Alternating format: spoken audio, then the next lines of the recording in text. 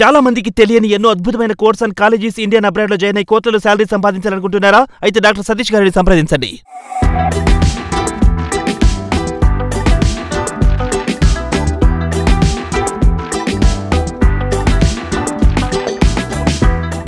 గుంటూరు కారం. ఈ మూవీలో పూజా హెగ్డే పాత్ర కీలకంగా ఉండబోతుందని ఆ తర్వాత ప్రాముఖ్యత శ్రీలీల పాత్రకు ఉండబోతుందని వార్తలు వచ్చాయి.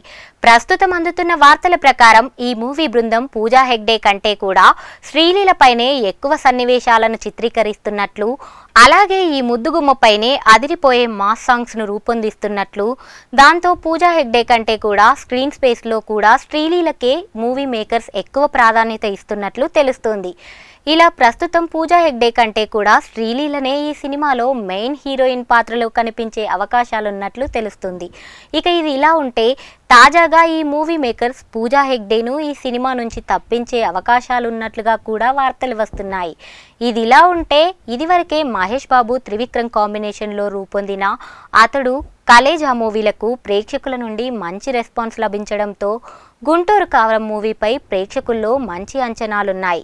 ఈ మూవీని వచ్చే సంవత్సరం సంక్రాంతి కానుకగా జనవరి పదమూడవ తేదీన విడుదల చేయనున్నట్లు ఈ మూవీ బృందం చాలా రోజుల క్రితమే అధికారికంగా ప్రకటించింది.